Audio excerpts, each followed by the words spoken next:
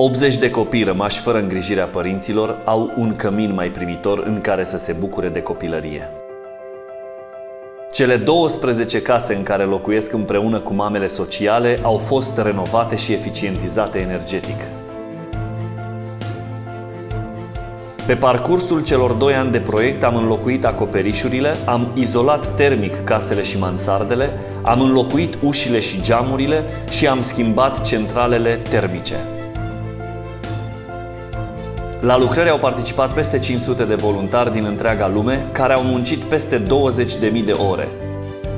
It's a great cause. Uh, uh, both uh, SOS uh, Telecopilor and uh, Habitat for Humanity are doing a great job bringing uh, decent housing uh, to uh, uh, people who uh, cannot afford it. Astfel am reușit să îmbunătățim substanțial clasa de performanță energetică a celor 12 case, ceea ce înseamnă costuri reduse cu întreținerea.